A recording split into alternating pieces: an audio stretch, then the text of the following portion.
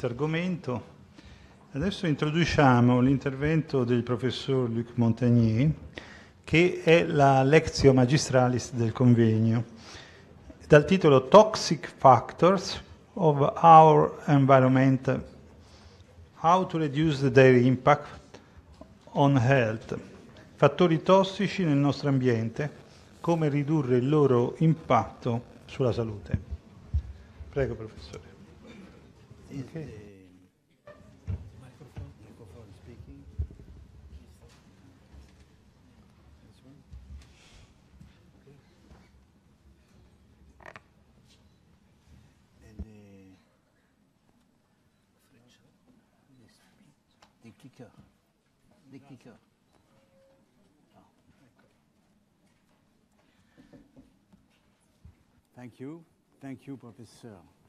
Giuliani, to invite me for this important meeting and important problems to be discussed.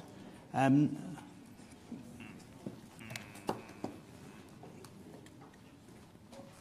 I am not against vaccination, of course. I was working at, for 30 years at the Pasteur Institute, and uh, I saw many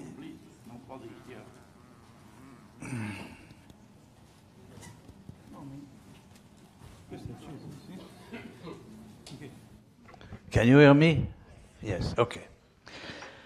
Uh, I was saying that I'm not against vaccination, and I think most of those people which are here are not against vaccination in principle. It's a very good way to prevent disease, epidemic diseases, and uh, my only concern is that the time has changed, and uh, at the time of Pasteur, the concept of infectious disease was very clear, simple. One disease, one agent, one vaccine, which could protect for life. But unfortunately, now we are in a different world, and I just I'd like to show you a few uh, slides. Actually, the the, the, real title of my talk was there was that toxic factor of our, our environment impact on health and our future. So this covers a much larger problem than only vaccination because we are facing factors which uh, concern our alimentation, food, food production.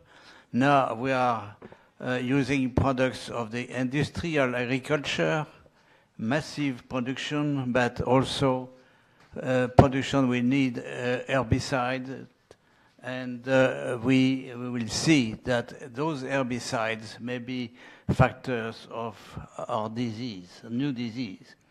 Chemical pollution in the air, in our food, in our everywhere. Electromagnetic pollution, this is something new, which is, uh, of course, less uh, sensitive now because a few people are really sensitive to electromagnetic radiation. But us now, everybody is uh, using computers, cell phone, and so on, and especially even young children. This we could lead to very harmful disease. And of course, we are facing also the menace of climate warming, which will prob probably make the world more global in terms of infections, uh, vectors, mosquitoes will go to our countries as well. So, so what is the impact on health of those factors? Well, the immune system is less responding. Reproduction, perhaps also. Uh, the spermatozoa in men have decreased by half. New epidemics, we have seen already in this century, uh, new epidemics occurring again, or even new, like the Zika virus. And chronic infectious disease, chronic disease which also will eat more and more people, aging people, but also young people. And this list is not uh, limited, but cancers are increasing, neurodegenerative disease are increasing, Alzheimer, Parkinson, autism in children, arthritic disease, cardiovascular, and uh, uh, disease uh, vectors by mosquitoes like yellow fever, dengue, Lyme disease by tick, chikungunya and Zika by mosquitoes again. So this list is not limitative, but to show you that we are in a, really different world than 100, ago, 100 years ago. And unfortunately, we are facing new chemicals. I take this example, glyphosate. Glyphosate is a very simple molecule.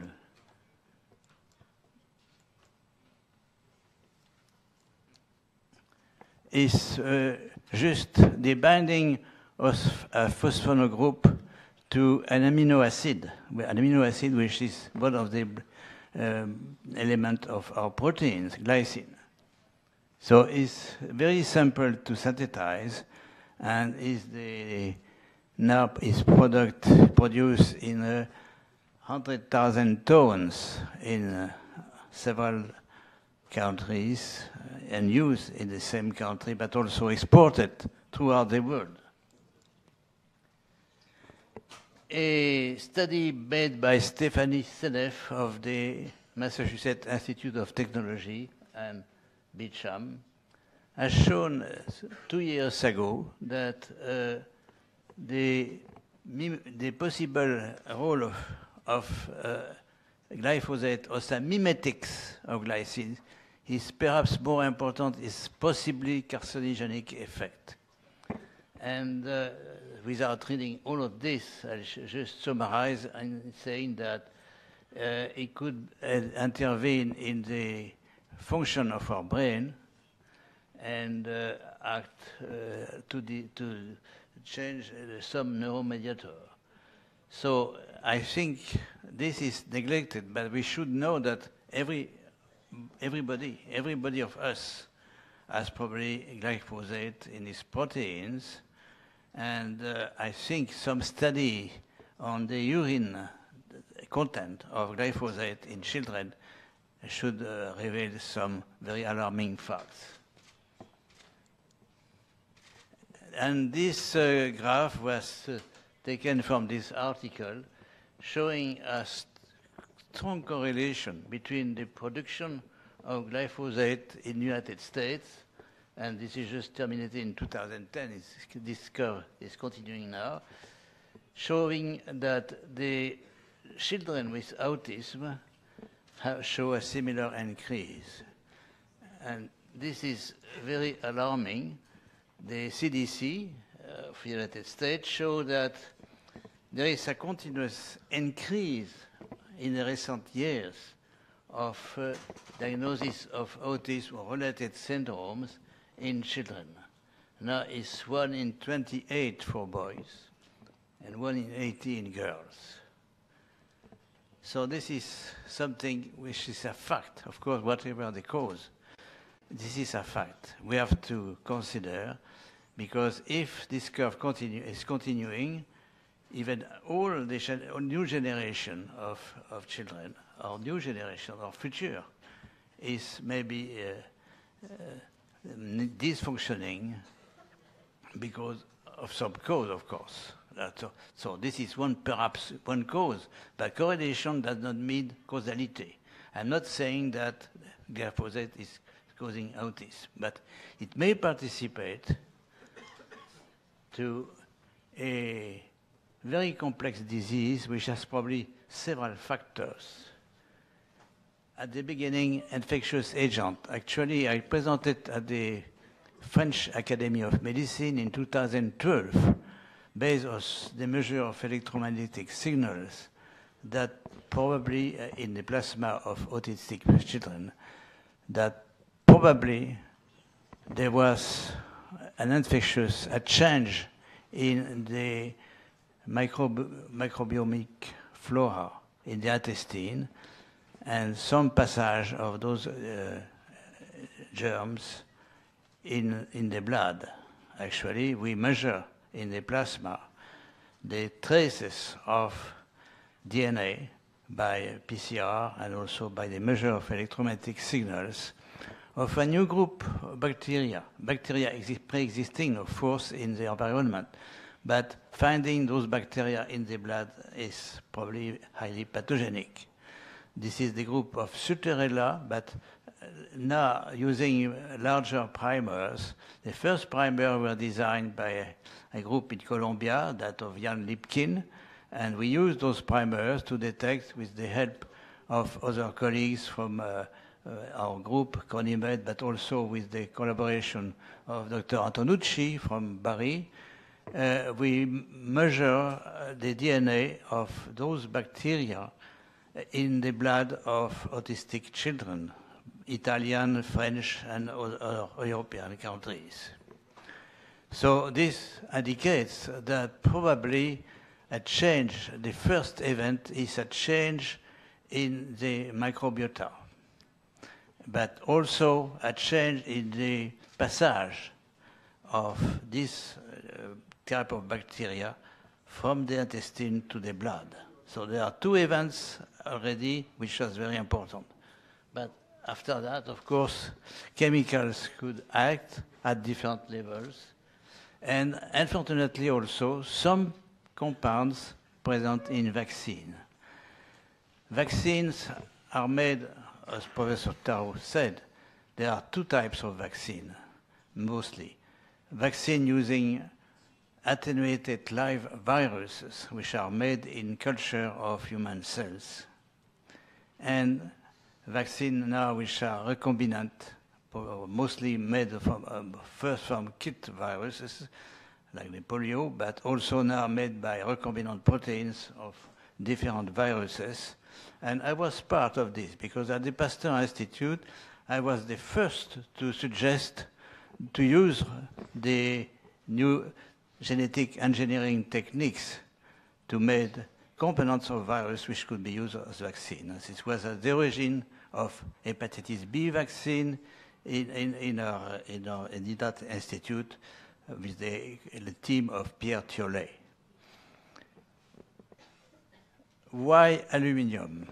Well, aluminium is, uh, has to be used, was used as an adjuvant of vaccination. Why? Because the recombinant protein are pure proteins. Uh, they are not as immunogenic as a uh, full virus vaccine or the live vaccine. So we have to add adjuvants. And the first adjuvant used in the 1920s was aluminum hydroxide or aluminum phosphate. Nothing wrong with that. But indeed, uh, this uh, aluminum, when injected inside muscles, is highly immunogenic, but unfortunately also it can cause disease.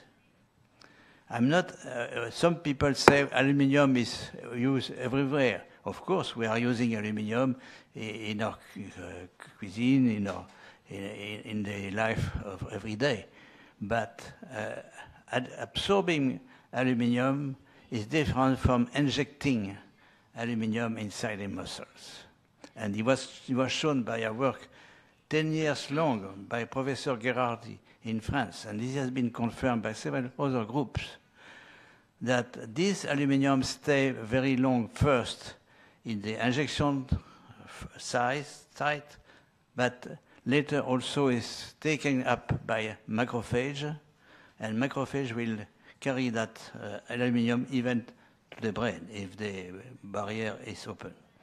So aluminium has to be replaced, and this is one very important requirement of using vaccine is to diminish the aluminium content or even suppress it. Actually, vaccine for animals, for cats and, and, uh, sorry, dog, cats and dogs are free of aluminium. And there is uh, was an advertisement recently for promoting the vaccination against flu, the flu shot, and saying this vaccine does not contain aluminium. So even the commercial use now imply that we should be, we should remove, ask for the removal of aluminium in vaccine. And actually, at the Pasteur Institute in the 1970, there was one of my colleagues, Dr. Relyveld, who said, well, now I have a, a, better adjuvant, which has not the inconvenience of aluminium, which was not already known at that time. The inconvenience at that time was more, it was inducing allergy and autoimmune diseases. And uh, it, we could replace, it could replace aluminium salt by calcium phosphate salt and having the most equivalent adjuvant effect without the inconvenience of aluminium.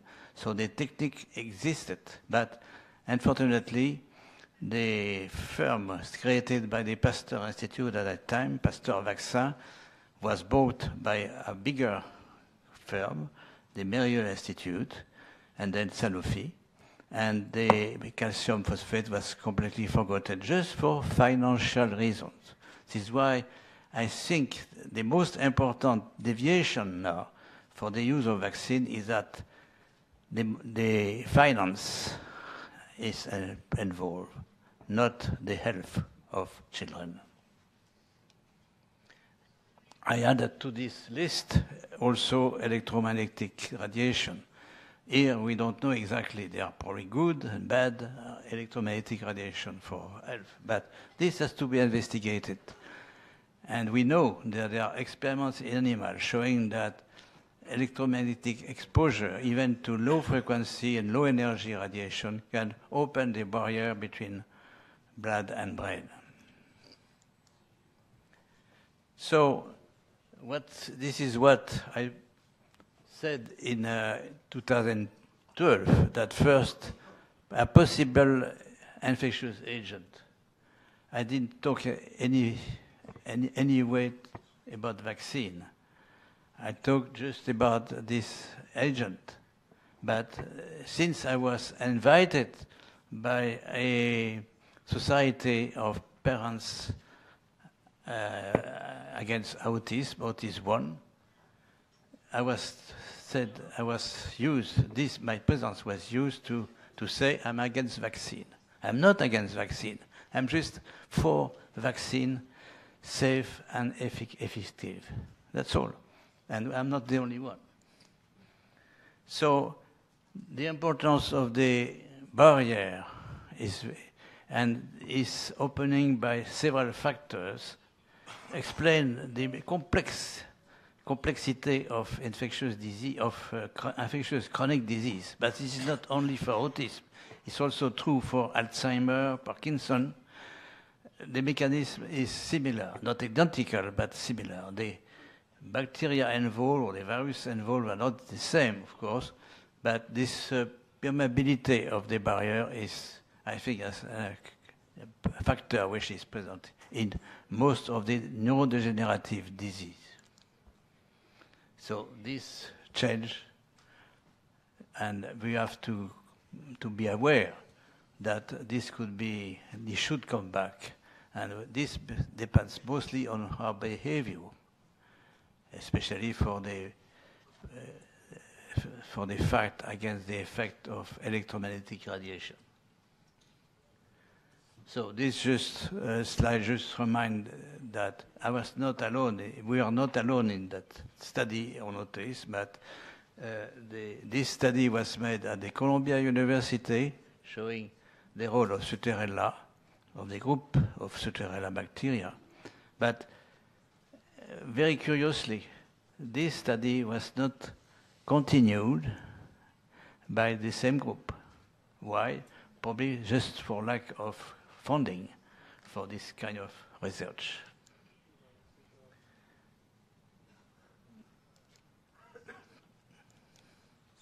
Now, I'm turning now to another example of, I would say, a disaster in vaccination Dr. Tarro, there have been very good examples, especially in the past. But more recently, more recently a French firm again, was uh, promoting a vaccine against dengue. Dengue is a very important disease transmitted by mosquito in tropical area, like yellow fever. The virus actually is close to the yellow fever virus. And uh, unfortunately, the disease is complex. There are uh, the role of antibody enhancing antibody enhancement of disease by the vaccination. Why is that possible? I will show you.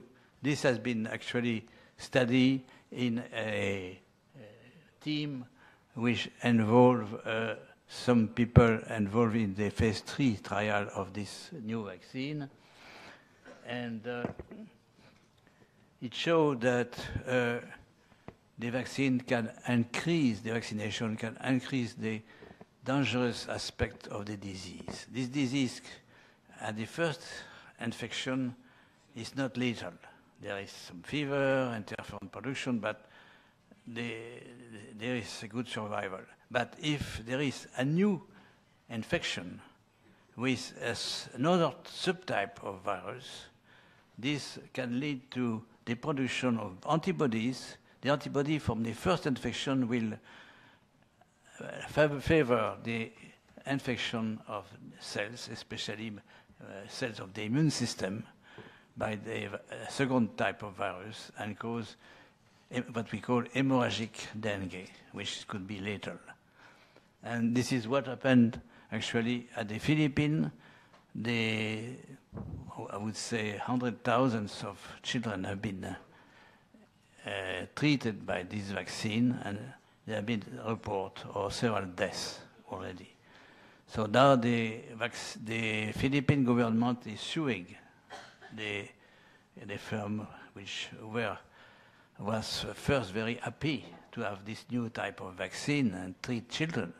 But goodwill does not suffice. I think it's very important to know the complexity of the immune reaction in some infectious disease, because this is not impossible to occur also in uh, children vaccinated with the measles virus, the measles attenuated virus. So the lesson of this is important. Is of course we should continue making vaccine, but being aware of measuring antibody is not sufficient. And some study should be done in animals before. Of course, we need animal models before using the children as guinea pigs. And this article actually has been published a few months later than the article on the past vaccine, the effect on uh, infectious disease. This is uh, in November 2017 in the in magazine Science. This has been published. So this cartoon will show you what happens. The antibody heterotypic from another subtype of virus. There are four subtypes. The antibody uh, from the first infection will bind cells, the receptor for this antibody, especially immune cells, monocyte, macrophage. And this will allow to have more target cells for the virus and increase also the T cell response.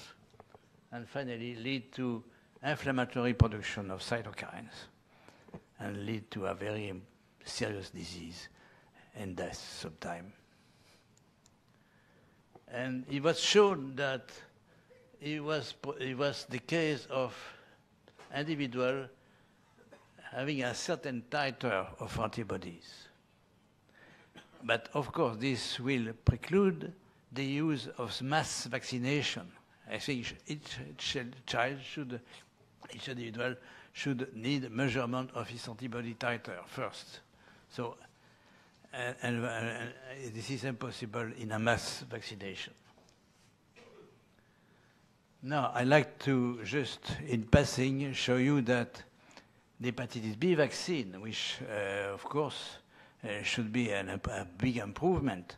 But unfortunately, this vaccine, especially in mass vaccination in France, because the Minister of Health at that time, in the 90s, decided that all these, uh, boy, the boys and girls in at the high school level should be vaccinated. So millions of people have been vaccinated, and unfortunately at that level we see side effects.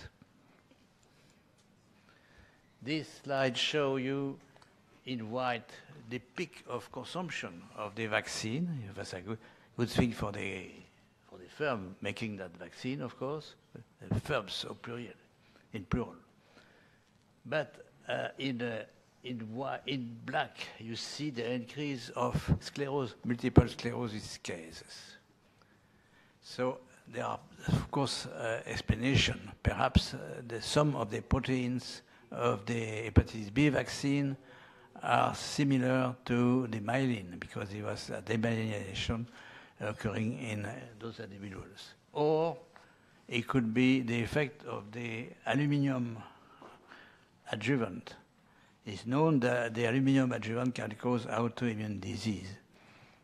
Anyway, this uh, is, some, is a fact, of course, which could not be really predicted. But again, we have to be very uh, vigilant in the uh, uh attempt of new types of vaccine, especially where those vac vaccines are mandatory, so they have to be given to a given population. So my conclusion is that we should avoid absolutely iatrogenic medicine disease and death by ignorance. And science, science must include all facts, even those which are not fitting with our previous ideas, theory, or ideology. And if we just include only the positive facts and not the negative aspect of vaccination, we create uh, it's just it's not science, of course, it's pseudoscience, but we create also adopt in the parents, in the people which are, uh, and, and, the pediatrician, which are also involved in vaccination. Adopt on the safety of vaccine, not efficacy in that, those cases, but safety.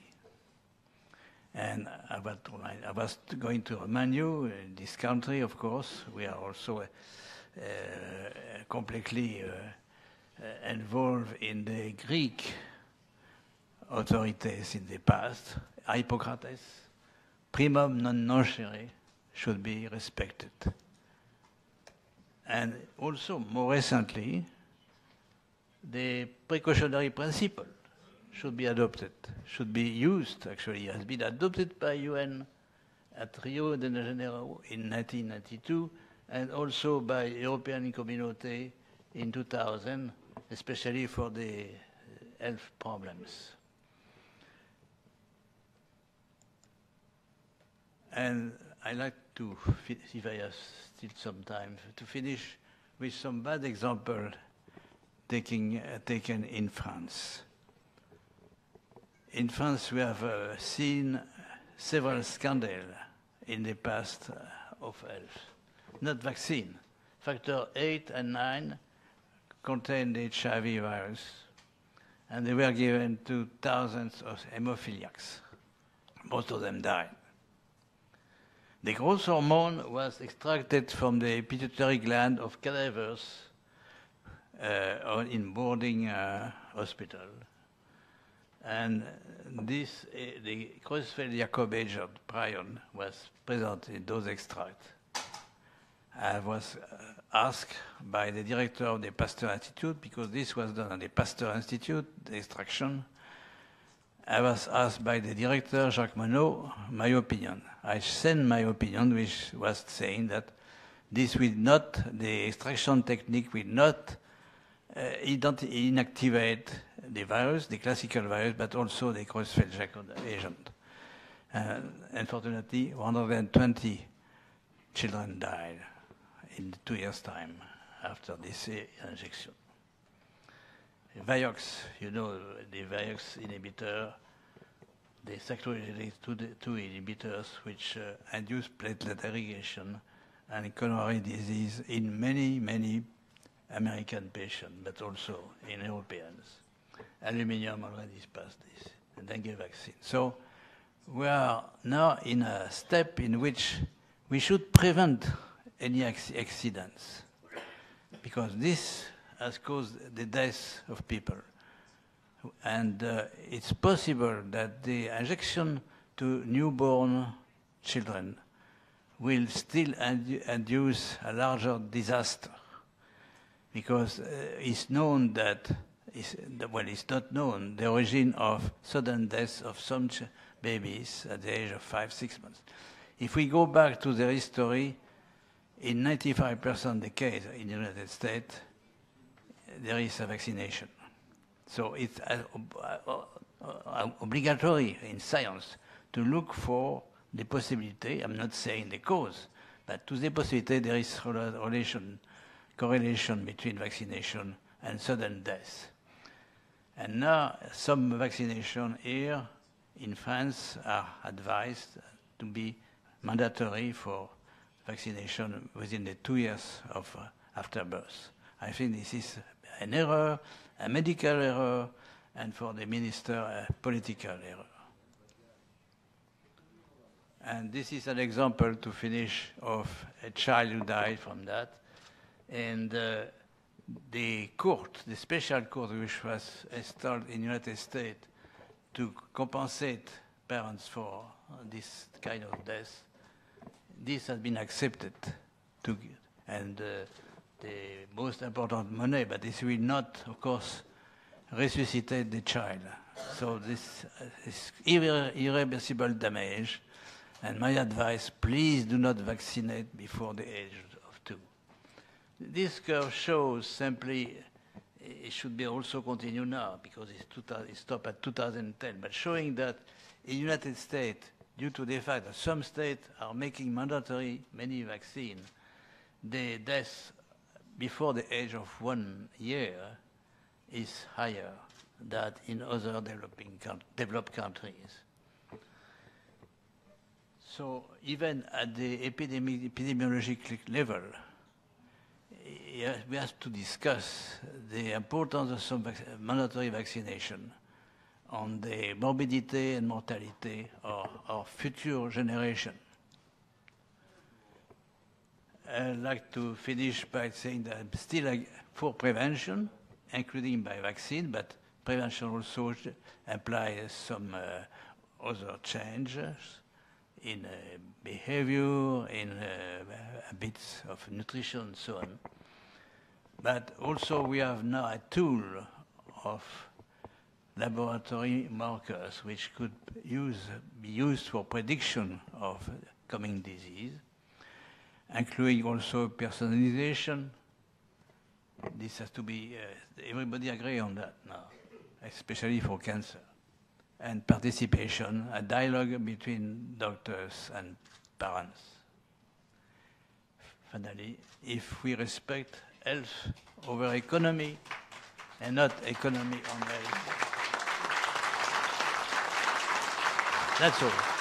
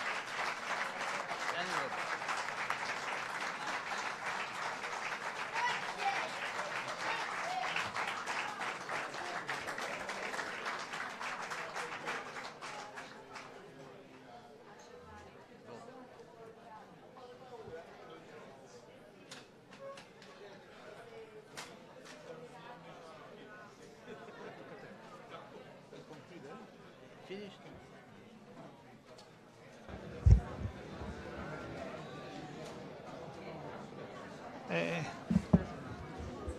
poiché c'è stato un po' di ritardo nell'inizio e d'altra parte era previsto il pranzo alle 13, eh, interrompiamo a questo punto e prenderemo la prossima relazione del dottor Soffritti all'inizio della ripresa. Grazie. E accomodatevi nelle stesse sala, sale dove è stato servito il coffee, al coffee break. Prego.